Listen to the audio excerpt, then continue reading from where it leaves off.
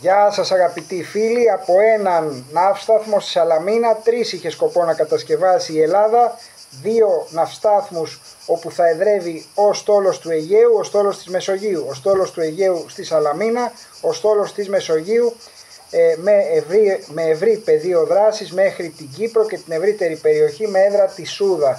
Αυτά θα υλοποιηθούν. Ο ναύσταθμος του Βόλου για τις αποβατικές μας δυνάμεις δεν έχει προχωρήσει. Αλλά εδώ βλέπουμε και πράγματα άλλα ιδιαίτερα δυσάρεστα. Βλέπουμε τώρα έτοιμα του πολεμικού ναυτικού για να στείλει μονίμως ισχυρή μονάδα επιφανείας στη Σάμο δεν έγινε δεκτή.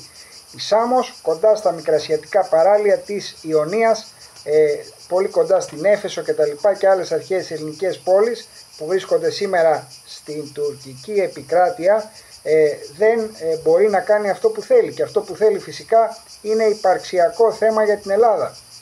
Το Διοικητικό Συμβούλιο στο μέλλον θα επανεξετάσει το θέμα, δηλαδή να μπορέσει το ναυτικό μας να έχει μόνιμη παρουσία στη Σάμο, μεγάλο στρατηγική σημασίας νησί ε, στο ανατολικό μας Αιγαίο. Την ώρα που όπως σας είπα η Τουρκία, δείτε την εκπομπή στην κεντρική σελίδα του καναλιού, έχει στείλει στην ευρύτερη περιοχή επαγγελματίες κομάντος. Λοιπόν, το Διαδημοτικό Λιμενικό Ταμείο Σάμου αφού εξέτασε αίτημα του πολεμικού ναυτικού να του υποδειχθεί χώρος μόνιμου ελιμενισμού πολεμικούς σκάφους είτε στο Καρλόβας είτε στο Πυθαγόριο απέρριψε το αίτημα υπόδειξης χώρου για μόνιμο ελιμενισμό του πολεμικού ναυτικού ε, με συγκεκριμένα χαρακτηριστικά που αναφέρθηκαν στους λιμένες Καρλοβασίου και Πυθαγορίου ιδιαίτερα κατά την τουριστική περίοδο.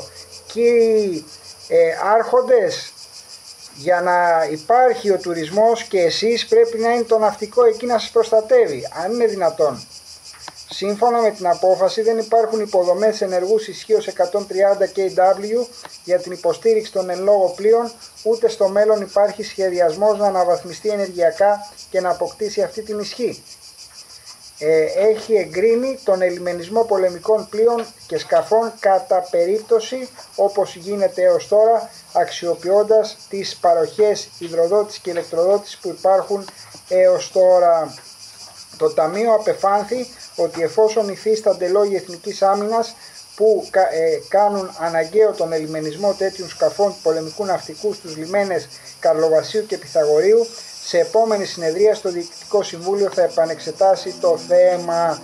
Δηλαδή έχουμε αυτή τη στιγμή το εξής, το πολεμικό ναυτικό που έχει την ευθύνη της προστασίας της πατρίδας της θάλασσας να υπόκειται τώρα σε αυτό το ταμείο για το τι θα κάνει. Αν είναι δυνατόν, δηλαδή πραγματικά δεν ξέρω αυτό το τέρας που ονομάζεται γραφειοκρατία ε, κατά πόσον θα επιτρέψει να γίνουν κάποια πράγματα σοβαρά. Και μου θυμίζει και ένα παλιό περιστατικό ε, γιατί όπως ξέρετε έχω υπηρετήσει ε, στα τάγματα εθνοφυλακής της Λέσβου στην 98η ανωτάτη διοίκηση ταγμάτων εθνοφυλακής και εκεί λίγο πριν παρουσιαστώ είχε ε, δημιουργηθεί ένα επεισόδιο το οποίο έλυσε ο περίφημος στρατηγός Ματαφιάς που δικούσε το νησί. Τέλος πάντων, αυτά προς το παρόν. Αν σας άρεσε η εκπομπή κάντε like, εγγραφή στο κανάλι και κοινοποιήστε τη. Να είστε όλοι καλά, αγαπητοί φίλοι, γεια σας.